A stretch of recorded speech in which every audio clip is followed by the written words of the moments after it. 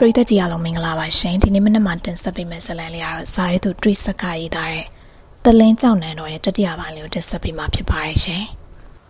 စံကောင်ရွာမှာရှိနေစဉ်ဦးကြုံတန်တို့လူဆိုမှာစမုံထံကိုလမ်းပြငားမရတာတကြောင်ရွာရဲ့တခြားလမ်းပြတွေကိုလည်းငားရမရတာကြောင်ခရီးဆက်ဖို့အတွက်အခက်တွေ့နေကြတယ်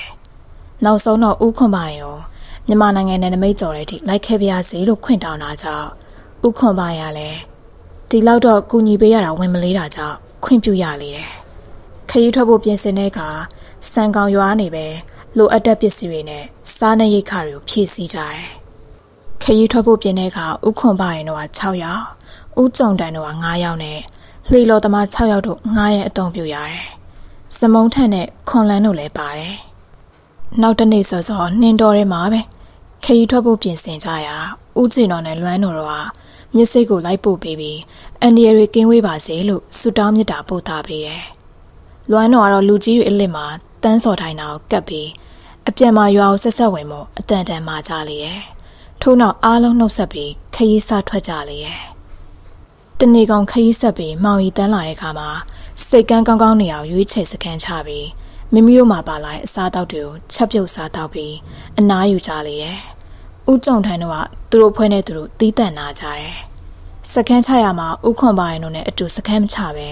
သူတို့ကတနေရာမှာစကန်းချပြီးပါလာတဲ့အစားအသောက်တွေကိုစားတော့ကြလေရဲ့။တနေ့သူတို့စကန်းချတဲ့နေရာမှာ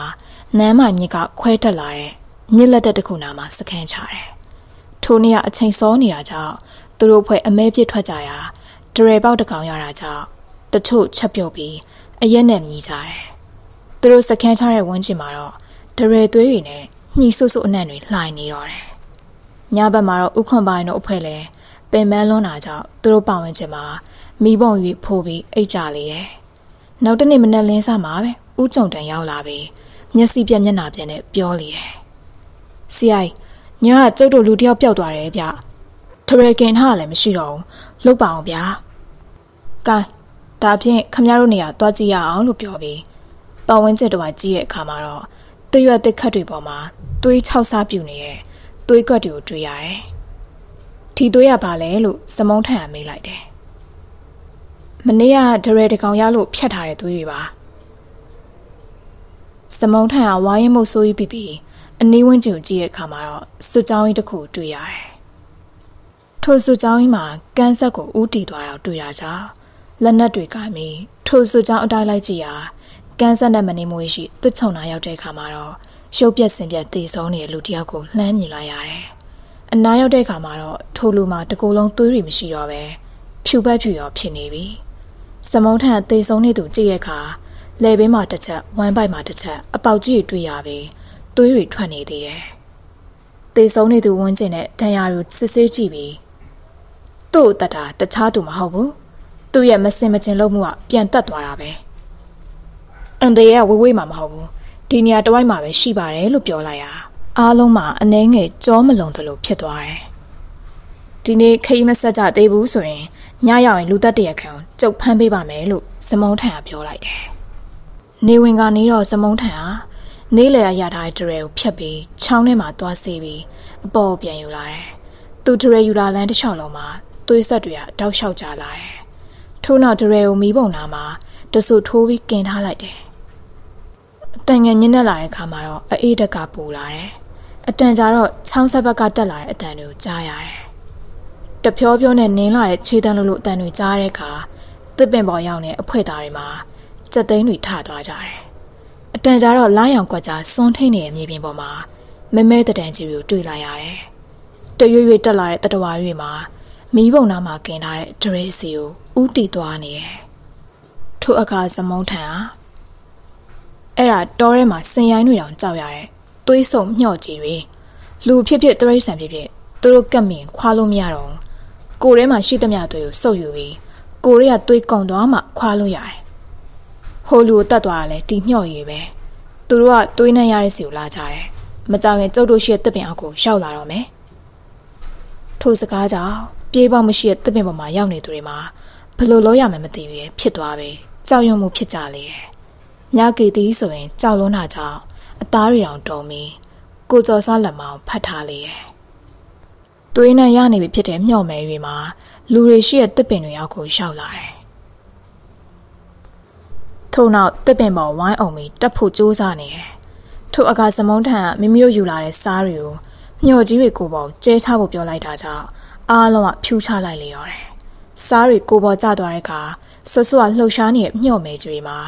တွန့်လိန်လှုပ်ရှားလာတယ်ခဏကြာတော့လှုပ်ရှားမှုတွေမှာပိုပြင်းထန်လာပြီးအနီးဝန်းကျင်ရှိတစ်ပင်တစ်ကိုင်းတစ်ချုံတွေကိုသူတို့ရဲ့ကြီးမားတဲ့ကိုလုံးရည်နဲ့ဖိမိလျာမှာထွက်ပေါ်လာတဲ့တစ်ကိုင်းကျိုးတန်ပြင်းထန်စွာထိခိုက်တဲ့တွေမှာစူညံစွာထွက်ပေါ်လာတော့တယ်။ကိုပေါ်စားတွေဝင်သွားတာနဲ့မျော်ကြီးတွေကိုရအချွဲရည်နဲ့သွေးတွေပန်းထွက်လာရာရဲရဲနေနေတော့တယ်။တစ်ပင်ပေါ်လူတွေကလည်းမိမိတို့ကျဲချလိုက်တဲ့စားတွေကြောင့် တစ်ပင်အောက်ကမျော့မယ်၍မခံနိုင်အောင်ဖြစ်နေအောင်တွေ့တော့အားတက်လာပြီးရှိသမျှစားတွေကိုတွန်ကျဲချနေတော့တယ်။စားတွေကြောင့်မျော့မဲကြီးတွေမှာမခံနိုင်အောင်ဖြစ်ပြီးကိုရီးယားသွေးတွေအန်ထုတ်ရင်နဲ့တဖြည်းဖြည်းသေးသွားရင်နဲ့နောက်ဆုံးတော့တောင့်တောင့်ကြီးဖြစ်ပြီးသေဆုံးသွားလေတယ်။တပင်အောင်မှာအားလုံးငြိမ်သက်သွားတော့မှတပင်ဘွားဆင်းရဲတယ်။မြေပြင်ပေါ်မှာတော့မျော့ကြီးတွေကထွက်နေတဲ့သွေးတွေကမြင်မကောင်းရဲရဲနေနေတယ်။ဟမ်စောစောတော့က ပေါင်လုံးလောက်ကြီးရဲ့မျော့ရွေကအခုတော့ထင်းချောက်လောက်ပဲရှိပါတော့လားဘလို့ဖြစ်သွားလဲသွေးဆုပ်တတ်တော်ကအတော်များများဟာစားကိုတိတ်ကြောက်ကြတယ်သူတို့ကောင်မှာအပေါက်လေးတွေရှိတော့ကိုရဲကိုစားရဝင်တာနဲ့သေတာပဲမျောဆိုတာသွေးကြိုက်တဲ့သွေးဆုပ်တတ်တော်ပါဆိုတော့သွေးနဲ့ရတဲ့နေရာကိုတက်လာလိုက်တာပါပဲရှေခကြီးမှာတော့ဒီထက်ကြောက်ဖို့ကောင်းတဲ့အန်ဒီရတွေအများကြီးတွေ့နိုင်ပါတယ်ဒါကြောင့်တတိဝရိယထားကြပါလို့စမုံထန်ကပြောပြလေတယ် နောက်တနေ့မနက်လင်းတဲ့အခါမှာတော့ဦးကြုံတန်းတို့အဖွဲ့ဟာတေဆုံးသွားသူမြုပ်နှံပြီးခရီးဆက်ခဲ့လေတယ်။အဲ့လိုနဲ့ခရီးဆက်ခဲ့ကြရာရက်အတန်ကြတဲ့အခါမှာတော့ဒက်ဆွန်ဒမ်ဆိုတဲ့ရွာတရွာကိုရောက်သွားတယ်။ထိုရွာမှာနမ်းမမြစ်ကမ်းနပိမှာရှိပြီးထိုရွာလှမ်းကြည့်ရင်ဝလန်ရာစီတောင်တန်းကြီးကိုလှမ်းမြင်နေရတယ်။ဝလန်ရာစီတောင်မှာမြန်မာနိုင်ငံမြောက်ဖက်ပြရှိအမြင့်ဆုံးတောင်တွေထဲမှာတတောင်ပါဝင်ပြီးခါကာဘူရာစီတောင်ပြီးရင်ဒုတိယအမြင့်ဆုံးတောင်ဖြစ်လေတယ်။ ဥခွန်ပိုင်းတို့ဟာထိုရွာမှာခဏနာနေစဉ်ရွာလူကြီးကမုတ်ဆိုးကြီးစမုံထန်တဲ့အသိမိတ်ဆွေဖြစ်တာကြောင့်သူကခရီးရောက်မဆိုင်ဆလိုက်ခမ ्या တို့နဲ့ပါလာတဲ့ဟိုလူတွေကခမ ्या တို့ခေါ်လာတာလားလို့ဦးကြုံတန်တို့ပြပြီးမိတယ်မဟုတ်ဘူးလူကြုံလိုက်လာတာဒီလူတွေကကျုပ်တို့စီကိုအကြောင်းကြားထားလူတွေဖြစ်မယ်တင်တယ်သူတို့ကဟိုဘက်နယ်ကပြစ်မှုတွေကျူးလွန်ပြီးဒီဘက်နယ်ကိုကြော်ပြီးလာခိုးနေတာအဲ့ဒါဟိုဘက်နယ်ကလူတွေက သူတို့တွေ့ဖမ်းပေးဖို့ဒီမှာရှိရဲ့အာကီဝါရီစီကိုအကြောင်းကြားထားတယ်သူတို့အဖွဲ့က9ယောက်လို့ပြောတယ်ကျုပ်စီကိုလည်းအကြောင်းကြားစာပို့ထားတယ်သူတို့နာမည်ကဘာတူလဲလဲကျုပ်လည်းတိတ်တော့မသိဘူးဥကြုံတန်လို့တော့ပြောတန်ကြားမိရပဲဟုတ်တယ်ဒီနာမည်မျိုးထင်တယ်ကျုပ်စီကိုပို့ထားတဲ့စာထဲမှာပါတယ်တကယ်လို့ဟုတ်တယ်ဆိုရင်တော့အမြဲဆုံးဖမ်းပို့ပေးရတယ်မဟုတ်ရင်နေဆက်မှနေကြတဲ့လူအချင်းချင်း တာဝန်မကျေတယ်လို့ဖြစ်မကောင်းနေရောမှားထားတဲ့နာမည်ဟုတ်မဟုတ်ကျုပ်စာရွက်ကိုပြန်ကြည့်လာအောင်မယ်ရွာလူကြီးကစာရွက်ထဲမှာရေးထားတဲ့နာမည်တွေကိုကြည့်နေစမှာဥကြုံတဲ့ရှိမိသွားပုံရတယ်ဒါကြောင့်ညဘက်မှာပဲလေလော်သမားအချို့ခေါ်ပြီးတစ်ထွင်းလေးပါယူဆောင်ပြီးတော့ထွက်ပြေးသွားလေတော့တယ်နောက်တနေ့မနက်လင်းတော့မှအလုသမားတချို့နဲ့တစ်တင်းလေးပါမတွေ့ရမှဥကြုံတဲ့တွေအကြံစီကိုသိရလေတော့တယ်ထိုအခါစမုံထန် ဒီနေရာရောက်မှတော့လေမရှိရင်လည်းတိတ်တော့ပူစရာမရှိတော့ပါဘူးခြေချင်းခရီးသွားကြတာပေါ့ခရီးကကျန်းတယ်ဆိုပေမဲ့ကုန်းလန်ခရီးကပို့ပြီးခရီးတွင်ပါတယ်အများဆုံး၄၅ရက်ပေါ့ဒါဖြင့်အခုချက်ချင်းခရီးဆက်ကြမှာလားချက်ချင်းတော့မကောင်းသေးဘူးထင်တယ်ဒီအဖွဲမှာမိန်းကလေးတယောက်လည်းပါတော့ဒီမှာတရက်နှစ်ရက်လောက်နားပြီးမှဆက်သွားတာပေါ့လို့ပြောပြီးတစွန်တန်းရွာမှာစခန်းချကြလေရဲ့ သူတို့အဖွဲ့ဟာတစွန်တန်းရွာမှာရှစ်ခရီးအတွက်လိုအပ်တဲ့ပစ္စည်းတွေကိုစုဆောင်းပြီးစီစဉ်မှုတွေပြုလုပ်နေကြတယ်။နေ့လယ်ဘက်မှာမြကီတီယာအကူရွာရဲ့အနောက်ဖက်နာမှာစမ်းကြောင်းတစ်ချောင်းရှိရဲလို့ပြောတယ်။ကျမရေသွားချိုးချင်တယ်။အကူအဖော်လိုက်ခဲ့ပြီပါလား။မြကီတီပြောတဲ့ချောင်းမှာရွာတန်းရှိတဲ့နေရာနဲ့မဝေးလာပဲအနောက်နားမှာရှိတာကြောင့်ကိုကျော်စွာအမဲပြစ်တဲ့နက်ကိုယူပြီးလိုက်ပို့ပေးလေရဲ့။ နွေရာသီဖြစ်တာကြောင့်ချောင်းထဲမှာရေသိမ်းမရှိရေမရှိရဲ့ချောင်းထဲမှာတော့ကြောက်တုံးအကြည့်အသေးတွေကပြန့်ကျဲနေတယ်ကြောက်တုံးတွေမှာအယောင်အသွေးအမျိုးမျိုးနဲ့အရွယ်အစားလည်းအမျိုးမျိုးပဲအကြီးဆုံးကြောက်တုံးမှာအိမ်တလုံးစာလောက်ရှိပြီးအသေးဆုံးမှာကြောက်စရိတ်ကအရွယ်အထိရှိလေရဲ့။ချောင်းဆက်ရောက်တဲ့ကမြကေတီဟာချောင်းအလေရေရှိရဲ့နေရာကိုဆင်းသွားပြီးကြောက်တုံးတတုံးနောက်ကိုဝင်သွားလေတယ်။ကိုကျော်စွာတော့ကန်းဆက်ရှိကြောက်တုံးတုံးပေါ်မှာထိုင်ပြီး တနက်ကိုအစင်သစ်တင်ထားတယ်။သူအတွေးကောင်းနေစင်မှာတပတ်ကန်းရှိတစ်တော်တွေကစူညံရဲ့ငှက်အော်တန်မြောက်အော်တန်တွေကိုရှုပ်တဲ့တိတ်ဆိတ်ငိမ့်သက်သွားတာကိုတတိပြုမိလိုက်တယ်။မတင်ကားစိမ့်နဲ့လမ်းကြည့်လိုက်တော့တစ်တော်ထဲမှာလှုပ်ရှားသွားတဲ့တစ်ပင်တစ်ကိုင်အချို့လှမ်းမြင်လိုက်ရတယ်။ဒါကြောင့်သူတနက်ကိုကင်ပြီးထားရက်လိုက်တယ်။ထို့အချိန်မှာတနေရတနေအောင်ရှိတ်ခနဲ့ရိတ်ခနဲ့လှုပ်ရှားသွားတဲ့အနီရောင်ပုံရိပ်အချို့တွေးလိုက်ရတာကြောင့်စိုးရိမ်စိတ်ဝင်သွားတယ်။ကေတီ အမြန်တက်လာခဲ့တော့လို့ကိုကျော်စွာလှမ်းអော်လိုက်တယ်။တိုးတော်နောက်ကျသွားပြီ။တပတ်ကန်းရှိတတော်ရကလူလောက်နေပါကြီးရဲ့မြောင်းဝင်နေတကောင်မှာလွှားကနေခုန်ထွက်လာတယ်။ရေချိုးနေရဲ့မြကေတီလည်းမြောင်းဝင်နေကိုတွေးလိုက်ရတယ်။ကြောက်လန့်တဲ့ကြောင်အော်ဟစ်လိုက်တယ်။ကိုကျော်စွာတနက်မောင်းကိုတင်ပြီးချောင်းထဲကိုခုန်ဆင်းသွားတယ်။မြောင်းဝင်နေရမြကေတီရှိရာပြေးဆင်းသွားရာကြောက်တုံးနဲ့꿰ထားတာကြောင့်ကိုကျော်စွာပြစ်ခွင့်မတာတော့ဘူး။မြကေတီရဲ့အော်ဟစ်တန်က ချောင်းထဲကပေါ်လာလေတော့တယ်။ကိုကျော်စွာချောင်းထဲကကြောက်တုံးရင်းနောက်ရောက်တော့မြောင်းဝင်နေရာမြကေတီကိုပွေပြီးပြန်ခုန်တက်လာတယ်။ကိုကျော်စွာစိတ်ကိုတင်းငိမ်စွာထားပြီးကြောက်တုံးသားမှာဒူးထောက်ထိုင်လိုက်တယ်။မြောင်းဝင်ကြီးကသူ့ရှိရဘက်ကိုမန်ဖီရဲ့အနေနဲ့တစ်ချက်လှည့်ကြည့်တယ်။ထို့နောက်တောပေါ်ပြန်ခုန်တက်ဖို့ဟန်ပြင်းလိုက်တယ်။သူ့ကြောခိုင်းပြီးတောပေါ်ခုန်တက်သွားတဲ့မြောင်းဝင်ကြီးရဲ့ကြောပြုံချိန်ပြီးတနက်မောင်ဖြုတ်ချလိုက်တယ်။ တနက်ကြည်စံမှာကြောပြုံတက်မက်စွာထိသွားတယ်။သို့တော့လက်ထဲမှာပွေထားတဲ့မြကီတီကိုတော့လှုပ်မချသေးပြီ။ဒါကြောင့်နောက်ထပ်မြောင်းဝင်နေရဲ့လက်ပြင်နေအောင်ချိန်ပြီးထပ်ပစ်လိုက်တော့မှမြကီတီကိုလှုပ်ချလိုက်တယ်။တနက်တန်ကြတာကြောင့်စကန်းအသွေးလည်းလိုက်လာတယ်။ကိုကျော်စွာအကျိုးကြောင့်ပြပြလိုက်တဲ့ကတနက်ပစ်စွမ်းရည်ကိုချီးကျူးကြလေတယ်။ထို့နောက်မြောင်းဝင်နေကိုစကန်းကိုတိတ်ဆောင်ယူသွားတယ်။ကိုကျော်စွာလည်းကြောက်လွန်းတာကြောင့်တတိလစ်နေတဲ့ မြကီတီကိုတတိရအောင်ပြုစုရလေတော့တယ်။အတန်ကြာတော့မှတတိပြန်ရလာတယ်။အကိုကိုကျေးဇူးတင်လိုက်တာအကိုသာမကယ်နိုင်တော့အကူလာလို့ဆိုရင် ကျမဘဝတော့ဘလို့ဖြစ်မှမသိတော့ပါဘူးကြောက်စရာကောင်းလိုက်တာကဲဒီနေရာမှာကြာကြာနေလို့တိတ်မကောင်းခဲ့သည်ကိုတို့သွားကြရအောင်လို့ပြောပြီးနှစ်ယောက်သားစက္ကန့်ကိုပြန်တက်ခဲ့ကြလေတယ်တစွန်တန်းကပြန်ထွက်တဲ့ကရှီလန်ခီးမဟုတ်ပဲခြေချင်းခီးသွားရတော့တယ် တစွန်တန်းမြွာလူကြီးကနန်းမမြင်အနောက်ဘက်ကန်ကိုလှေနဲ့လိုက်ပို့ပေးတယ်သူတို့ခေါ်လာတဲ့လေသမားတွေမှာတချို့ကဦးကြုံတန်ကိုခေါ်သွားတာကြောင့်ကြံသူတွေကိုအထမ်းသမားဖြစ်ဆက်လက်ငားရမ်းလေရာသူတို့ကလည်းသဘောတူတာကြောင့်တပါးရဲခေါ်သွားကြတော့တယ်တကယ်တော့ခြေချင်းခရီးဆိုတာလှေနဲ့သွားရတာလားမတက်တာလားခရီးထွက်တဲ့အဖွဲမှာဥခွန်ပိုင်တော့6ယောက်မုံဆိုးစမုံထန်ခွန်လန်းနဲ့အထက်သမား4ယောက်ဖြစ်ရာအားလုံး12ယောက် တစွန်တန်းထွက်ခဲ့ပြီးနမ်းမမြစ်ဆုံမှာရှိရဲ့အတွန်လန်းဆောင်တဲ့ရွာကြော်လာပြီးတဲ့နောက်ထပ်လူနေအင်ဂျင်နဲ့ရွာတွေကိုမတွေ့ရတော့ဘူးစမုံထန်ကတော့ကလန်ရာစီတောင်ကြော်ရင်ရွာငယ်လေးတူရရှိရဲလို့ပြောတယ်နောက်ဆုံးတော့သူတို့ကကလန်ရာစီတောင်ရဲ့အရှိဘက်ကိုရောက်လာတယ်ထိုနေရာရောက်တဲ့အခါမှာတော့ရှေခဲတွေဖုံးလွှမ်းနေတဲ့တောင်စင်တောင်တန်းတွေတတော်ကြီးတွေသာတွေ့ရပြီလူနေအင်ဂျီတဲတလုံးတော့မတွေ့ရတော့ဘူးသူတို့ကကလန်ရာစီတောင်ကြီးရောက်နိုင်မှု မိုင်20ကျော်ဝေးတဲ့ရှေခဲပြင်ပေါ်ကဖြတ်တန်းသွားရတယ်တနေရာရောက်တဲ့အခါမှာတော့ရှက်အတန်ကြလူအချို့စခန်းချသွားတဲ့တရွက်တစ်ခတ်တွေနဲ့ပြုတ်လုထားတဲ့တဲဟောင်းအချို့တွေ့ရတာကြောင့်ရှေ့ကခရီးသည်အချို့ဖြတ်တန်းသွားခဲ့ပုံရပြီး၎င်းခရီးသည်တွေမှာလည်းသူတို့လေကိုခိုးယူပြီးရှေလန်းခရီးရသွားကြတဲ့ဥကြုံတန်တို့အဖွဲဖြစ်လောက်တယ်လို့ခန့်မှန်းကြလေတယ်။နေလုံးမပြောက်ခင်မှာတော့စူးစမ်းပြီးဆက်လျှောက်လာရာဂလန်ရာစီတောင်ကျူရောက်ခဲ့ကြတယ်။ သူတို့ဟာတောင်ပေါ်ရှိနှင်းတွေကင်းတဲ့ကူပေါက်တစ်ခုရှာပြီးစခန်းချကြလေတယ်။ညဘက်ရောက်တဲ့ကအနောက်အရှက်ကင်စွာနဲ့အိတ်ဆက်အနားယူရဲဆိုပေမဲ့မလန်းမကန်းစီရတစုံတခုဝိုင်းဝန်းကြိုက်ဖြတ်စားတောက်နေအတန်ကြားတာကြောင့်ထိတ်လန့်မှုဖြစ်ရတယ်။ဒါကြောင့်အားလုံးတပြိုင်နက်မအိပ်ရတော့ပဲအလှဲ့ကြောက်ကင်းဆောင်ပြီးအိတ်ကြရတယ်။နောက်တနေ့ရောက်လို့အတန်အသင့်နှင်းတွေကဲသွားတဲ့အခါခရီးဆက်ကြပြန်လေရဲ့။လမ်းတနေရာရောက်တော့နှင်းပြင်ပေါ်မှာစုချောင်းကြီးကိုတွေ့ရတယ်။ ထိုစုချောင်းရဲ့မလန်းမကန်းမှာတော့လူတယောက်ရဲ့ခြေထောက်ပိုင်းကိုတွေ့ရတာကြောင့်နှင်းတွေကိုဖဲကြည့်လိုက်တဲ့အခါ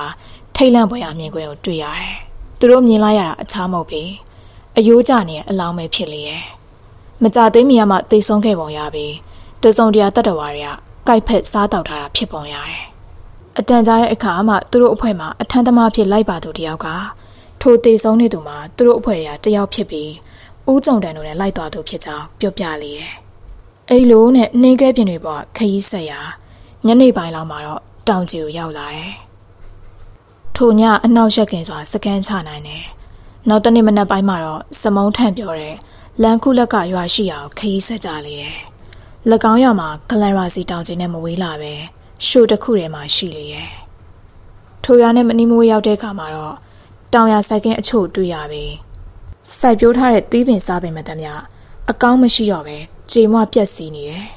။ဒါတွေကဘလို့ဖြစ်တာလဲမသိဘူး။စိုက်ခင်းတွေအားလုံးပျက်စီးနေပါလား။ဟုတ်ပါတယ်။ကျိုင်းကောင်တွေများအုပ်စုလိုက်ဝင်ရောက်ဖျက်ဆီးသွားလားမပြောတတ်ဘူး။ဒီအန်ဒီကမသေးလာအောင်ရွာရဲသူတွေတော့အတော်ခံရမယ်ထင်တယ်။ရွာရောက်ရင်တော့အဖြစ်တခုတော့သိရမှာပါ။ရွာနာရောက်တဲ့အထိလူတယောက်မှမတွေ့ရပဲရွာရဲရောက်တော့မှအခြေအနေတွေ့ရတယ်။ ရွာရဲရှိတဲတွေအားလုံးလိုလိုမှလူတယောက်မှမရှိတော့ပဲအန်ဒီရဲ့ဆိုးကြီးတစ်ခုဝင်လာတာကြောင့်ကမန်းကတန်းစွန့်ခွာထွက်ပြေးသွားကြတယ်။တချို့တဲတွေထဲမှာတော့အယိုးသာကျန်တော့တဲ့လူကြီးနဲ့ခလေးအလောင်းတွေကိုစိတ်မကောင်းစွာတွေ့ရတယ်။ထို့နောက်ထိုရွာနဲ့မဝေးလာတဲ့တောင်ကုန်းတကုန်းပေါ်မှာတွားရောက်စကန်ကြဖို့သဘောတူတာကြောင့်ရှေ့ကိုခရီးဆက်ကြလေတယ်။တောင်ကုန်းထိပ်ပေါ်ရောက်တော့မှနားရဲကြတယ်။ထိုတောင်ကုန်းပေါ်ရောက်တဲ့အခါစမုံထန်ဟာ တောင်ကြီးရှိတတော်တွေဘက်ကိုစိတ်မချတယ်လို့လှမ်းကြည့်နေတယ်။အတန်ကြားတဲ့အခါဒီအဖွဲထဲမှာအဝေးကြီးမှန်ပြောင်ပါလားလို့မေးတယ်။ထို့အကာဒေါက်တာမင်းထင်ကျော်ဟာကျုံမှာပါတယ်လို့ပြောပြီးမှန်ပြောင်ထုတ်ပေးလိုက်တယ်။စမုံထန်ကမှန်ပြောင်ယူပြီးကြည်နေရတယ်။ဒီမှာလာကြည့်ပါအောင်လို့ခေါ်တာကြောင့်အားလုံးအနာသွားပြီးသူညွန်ပြတဲ့ဘက်ကိုမှန်ပြောင်းနေကြည့်လိုက်တော့ထူကြတဲ့တရိษံအုပ်စုကိုလှမ်းမြင်ရတယ်။အဲအဲ့ဒါဘာကောင်တွေလဲ။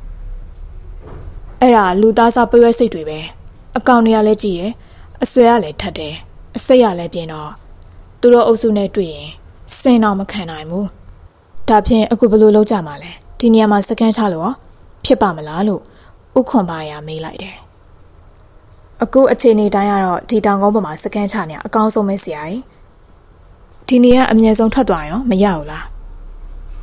မဖြစ်တော့ဘူးတင်တယ်အခုအခြေအနေရောက်မှတောင်အောက်ကိုဆင်းသွားရင် သူတို့စဝိုင်းနဲ့ရောက်သွားလိမ့်မယ်ပရွက်စိတ်တွေရဲ့စဝိုင်းဝင်ပြီးပြန်ထွက်လို့မလွယ်ဘူးအကောင်းဆုံးကတော့သူတို့လွန်သွားတဲ့အထိဒီကောင်ပေါ်မှာစကန်ချတာအကောင်းဆုံးပါဒါပေမဲ့ကျုပ်တို့အတွက်အန်တီရကင်းအောင်တော့ကြိုတင်ကောက်ွယ်မှုတွေတော့လုပ်ထားရမယ်လို့ပြောပြီးတောရကငင်စီမီတွေထင်းရှူသားတွေထင်းကြောက်တူရှာဖွေပြီးတောင်ကုန်းပေါ်တဲတင်ကြတယ်။ထို့နောက်မီးဆွဲနိုင်တဲ့တစ်တုံးကြီးတွေထင်းရှူသားတုံးတွေကိုပတ်ပတ်လဲအောက်ကခံပြီးအပေါ်ကကငင်စီတွေနဲ့မီးလောင်လွယ်တဲ့တစ်ကိုင်းတွေကိုတင်ကြတယ်။ တောင်ကုန်းတစ်ခုလုံး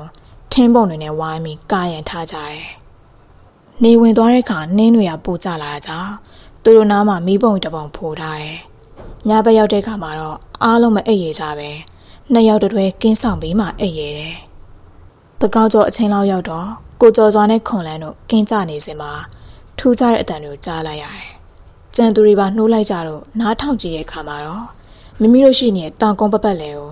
စဝိုင်းတတံပတ်ပြီးတက်လာတယ်အတန်တို့ကြားလိုက်ရတယ်ကဲအခုအချိန်ဒီမှာတော့လှုပ်ရှားတလန်းမရှိတော့တယ်ကျုပ်တို့တောင်ပတ်ဝိုင်းထားတဲ့တစ်ကန်တွေကိုမီးရှို့ကြပြီရောလို့စမုံထန်ကပြောတာကြောင့်အသင့်ပုံထားတဲ့ထင်းပုံတွေကိုမီးကူးလိုက်ကြတယ်အချိန်အနည်းငယ်တွင်မှာပဲမီးတောက်အားလုံးဆက်သွားပြီးစဝိုင်းတတံဖြစ်သွားတော့တယ်ထို့အခါအားလုံးအသက်ရှူဖို့မိသွားလာ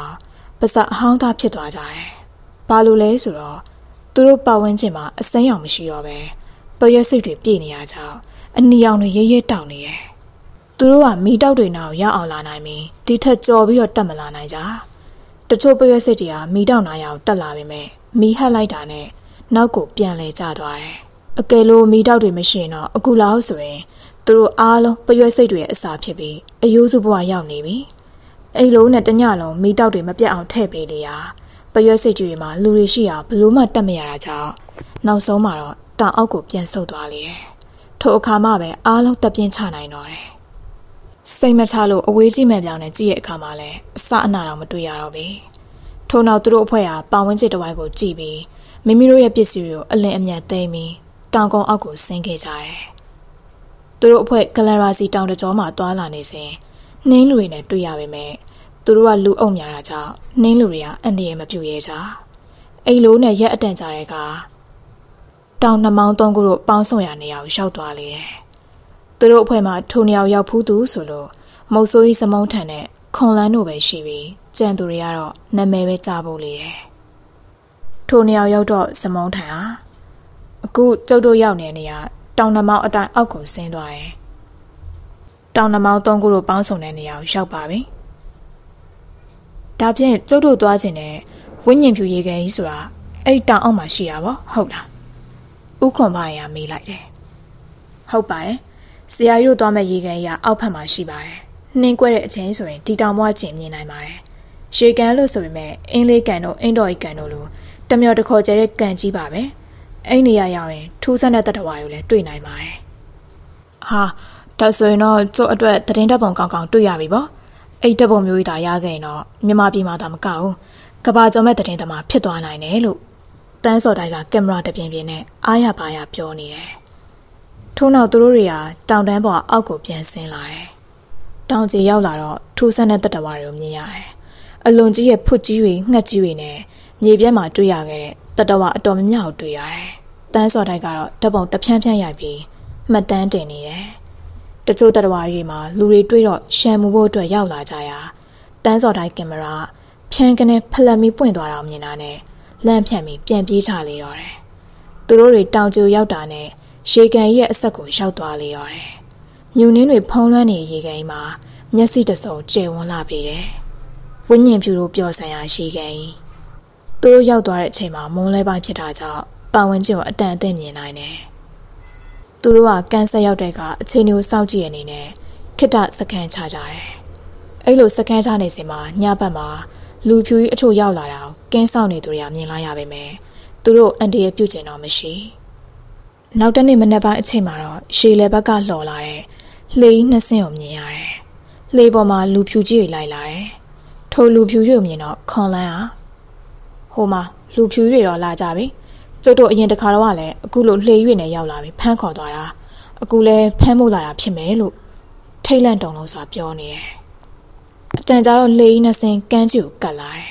။အနားရောက်တဲ့ကဥကောင်းပေါ်မှာခြုံတိုင်းပဝါကြီးကိုဖိလိုက်တယ်။ဥခွန်မိုင်အံ့ဩသွားတယ်။ထို့လူမှအခြားမဟုတ်ပေ။သူ့စီကိုတကြိမ်ရောက်ခဲ့မှုတဲ့မော်ရီယာဆိုလူရဲ့ပဲဖြစ်တော့တယ်။အခုလိုပြန်တွေ့ရတာဝမ်းသာပါတယ်။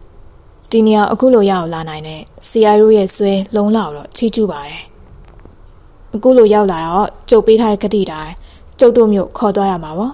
ဒါထက်ကြုတ်ပေးထားတဲ့ပဒံများပါပါသလားပါခဲ့ပါတယ်ဥခွန်ပါရပဒံများကိုထုတ်ပြလိုက်တယ်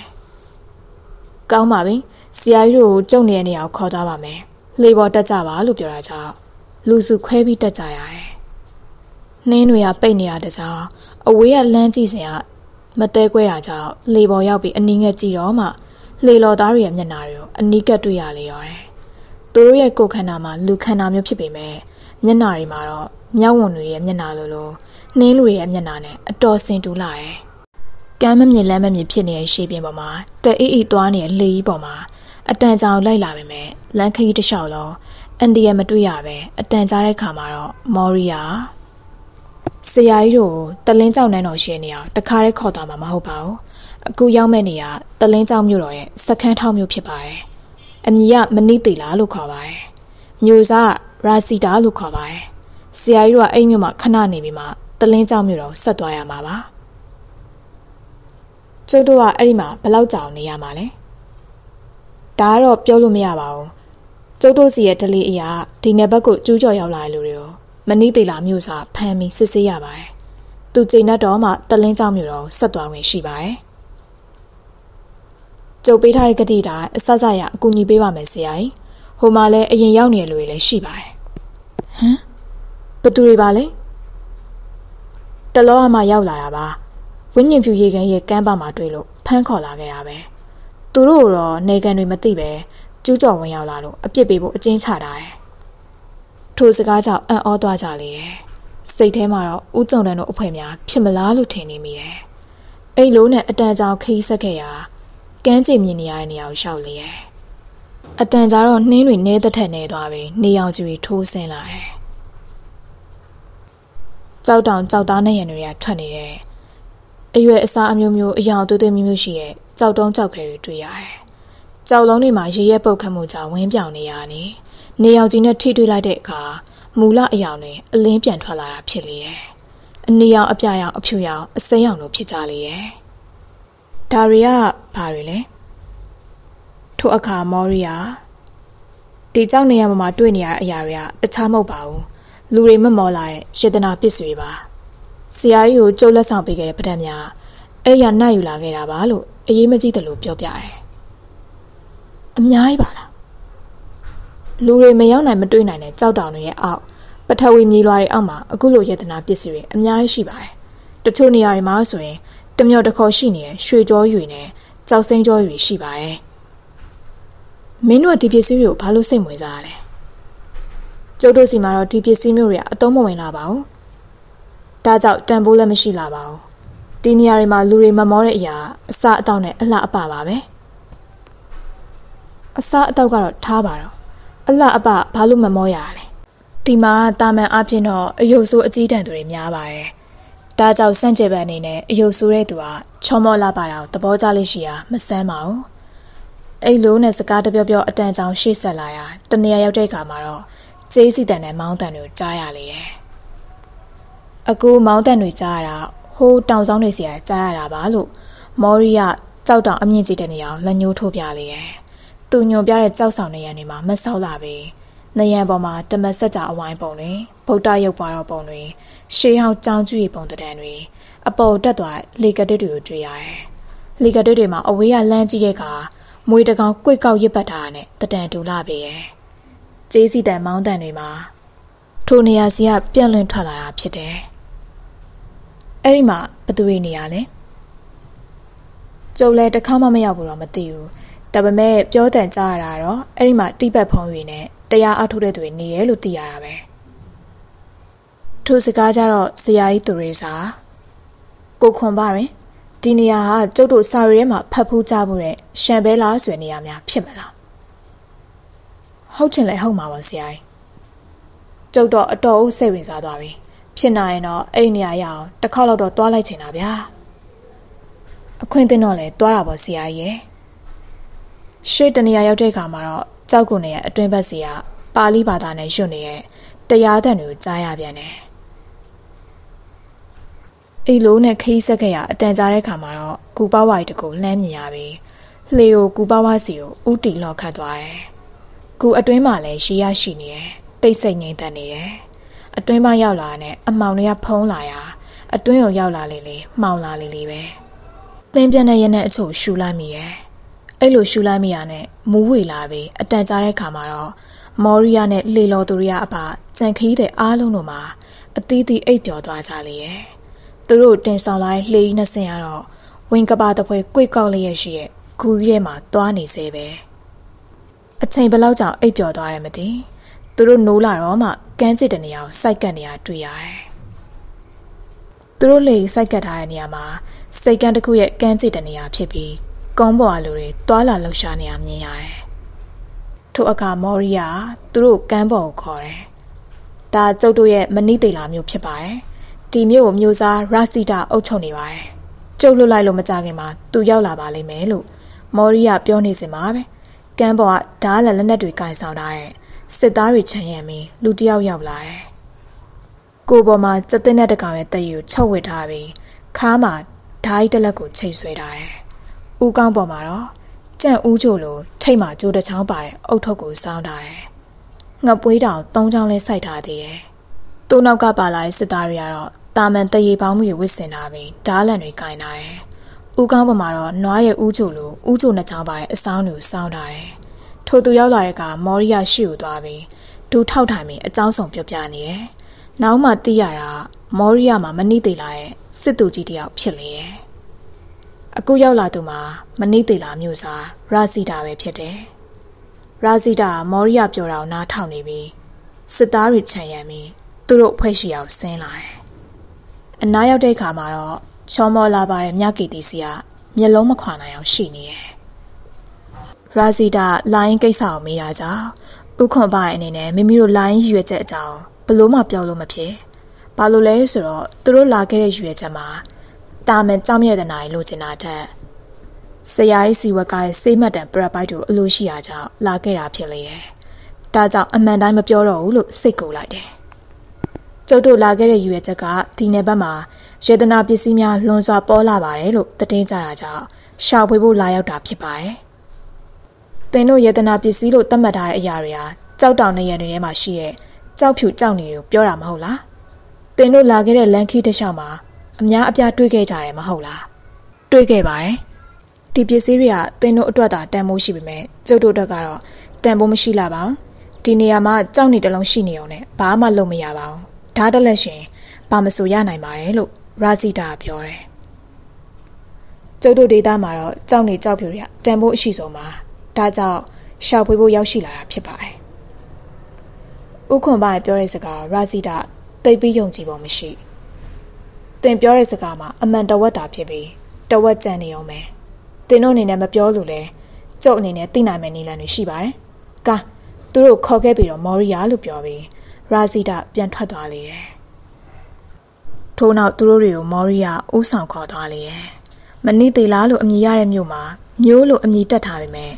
ရွာကြီးတရွာလောက်ပဲရှိလေတယ်။နေထိုင်တဲ့အိမ်တွေမှာကြောက်သားတွေကိုထွင်းထူးဆောက်လုပ်ထားတာဖြစ်ပြီး အများအပြားတော့ပကံလုံးတွေမှောက်ထားတာနဲ့တံတတူလာတယ်။ရာစီတာနေတဲ့နေရာမှာကြောင်နှန်းတော်ကြီးခန်းနာလာလေတယ်။အနားရောက်တော့မှထိုကြောင်နှန်းတော်ကြီးမှာတီးတန့်ဆောက်လုပ်ထားတာမဟုတ်ပဲကြောက်နေရင်တကူနန်းတော်တံထွင်းထူထားတာဖြစ်လေတယ်။အတွင်းထဲမှာလည်းတိုင်လုံးရွေအခန်းတွေနဲ့ခန်းနာစွာပြုလုပ်ထားလေတယ်။အခန်းအဝင်ဝါနဲ့နေရံတွေပေါ်မှာတော့ဗတ်တံများစိန်နဲ့ကြောက်စိမ့်တော်တွေကိုအယောင်အသွေးလှပအောင်ကတ်ထားတယ်။ ရာဇီတာမော်ရီယာကိုဥခွန်ပိုင်တို့အခန်းတွေခွဲပြီးနေရာချပေးဖို့ပြောပြီးရင်တော့နောက်ဖက်အခန်းထဲဝင်သွားလေတော့တယ်။မော်ရီယာသူတို့ရှိရောက်ကိုအခန်းနှခန်းခွဲပြီးနေရာချပေးတယ်။ဥခွန်ပိုင်ဆရာကြီးသူတွေစာကိုကျော်စွာနဲ့မြကေတီတို့ကတခန်းဒေါက်တာမင်းထင်ကျော်တန်းစော်တိုင်းမုတ်ဆိုးကြီးစမုံထန်နဲ့ခွန်လန်းတို့ကတခန်းဖြစ်လေတယ်။ဆရာကြီးသူတွေစာကျုပ်ဒီနေရာရောက်ကြတဲ့ကတွက်ချက်ပြီးပြီ။ဂျိုစီဂျိုနဲ့နက်ခတ်တွေရဲ့သဘောအရ ကျုပ်တို့တွေဒုက္ခတော့တွေ့ရအောင်မယ်အသက်ဘေးအန္တရာယ်တော့မဖြစ်နိုင်ပါဘူးကျုပ်ရဲ့နှက်ခတ်အမြင်နဲ့ပြောရရင်ရှေ့မှာအန်ဒီယေနဲ့တွေ့ကြုံရပါမယ်ကံကောင်းထောက်မှမှုနဲ့အသက်ဘေးအန္တရာယ်လွတ်မြောက်ပြီးကျုပ်တို့ရဲ့အကြံစီအောင်မြင်လိမ့်မယ်လို့ရဲရဲအာမခံရပါတယ်ညပိုင်းအချိန်မှာတော့မော်ရီယာလာခေါ်တာကြောင့်အားလုံးလိုက်သွားရတယ်ကြောက်စပွဲနဲ့ကလတ်ထိုင်းတွေရှိတဲ့အခန်းကျယ်ကြီးတစ်ခုတည်းဖြစ်လေတယ်အခန်းထဲရောက်တဲ့က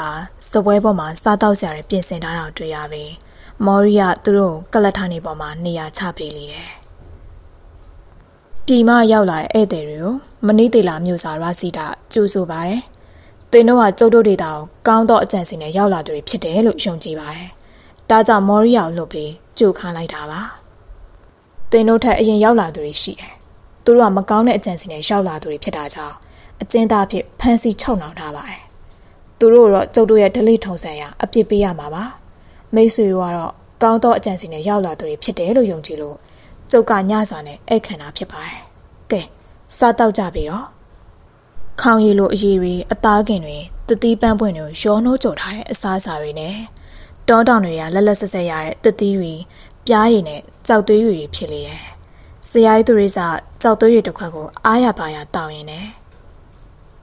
ကြောက်သွေးဆိုတာအင်မတန်ရှားတာဒီကြောက်သွေးကိုနှက်စေး အော်တတာလိုတော့မှတင်စားပြီးခေါ်ကြတာတာအိုတောက်ရဲ့အိုချင်းနာချင်းကိုတားဆီနိုင်မင်းအသက်ရှင်တယ်ဗျဒါကြောင့်ဥခွန်ပိုင်တို့၃ယောက်ကလည်းတယောက်တစ်ခွက်စီတောက်ကြလေတယ်ဧည့်သည်တွေကိုအခုလိုခေါ်ယူကျွေးမွေးတာကျုပ်သိကျင်တဲ့အကြောင်းလေးတွေကိုလည်းမေးချင်လို့ပါလို့ရာဇီတာစကားစားတယ်မေးပါမိတ်ဆွေတို့ဒီနယ်ကိုလာတဲ့ယူရချက်အမှန်ကိုသိချင်ပါတယ် ဒေသန္တရဘဝတုဒနဲ့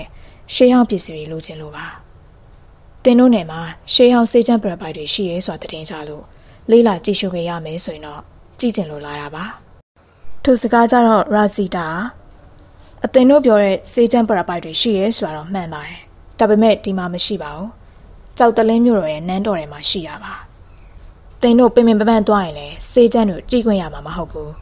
ကြောက်တလင်းသခင်မှဒီစေချမ်းတွေကို ဘသူ့မှကြည့်ခွင့်ပေးမှာမဟုတ်ဘူးမကြခင်မှာဒီစေးချမ်းတွေကိုကြည့်ခွင့်ရအောင်နေမကဘူးအပါရမယ်ဆိုရင်သင်တို့မလို့ချင်ဘူးလားဘယ်လိုရနိုင်မဲဆိုတာတစ်စိတ်လောက်ပြပြပါမကြခင်မှာကြောက်တလင်းမျိုးကကြောက်ရက်လက်အောက်ကိုရောက်တော့မှာဒီလိုရောက်လာတဲ့အခါသင်တို့အလိုရှိတဲ့စေးချမ်းတွေကိုကျုပ်ကပေးမယ်သင်တို့ဘက်ကကျုပ်ကိုတစ်ခုတော့ပြန်ပေးရမယ်ဘာပေးရမလဲဆိုတာပြောပါ ရာစီတာမြကေတီကိုစူးစူးရဲရဲတစ်ချက်ကြည့်ပြီးကျုပ်ကြောက်တလင်းမျိုးရတဲ့အခါမှာသူ့ကျုပ်ရဲ့ကျင်ရတော့ဖြစ်မြောက်ခွင့်ပေးရမယ်အားလုံးမှာအာမေဒိတ်တန်တွေထွက်ပေါ်လာတော့တယ်ထို့နောက်ဥစွာစကားတန်ပေါ်လာသူမှာကြော်စွာဖြစ်လေတယ်ဒါတော့ဘယ်နည်းနဲ့မှမဖြစ်နိုင်ပါဘူးစဉ်းစားကြအောင်လေ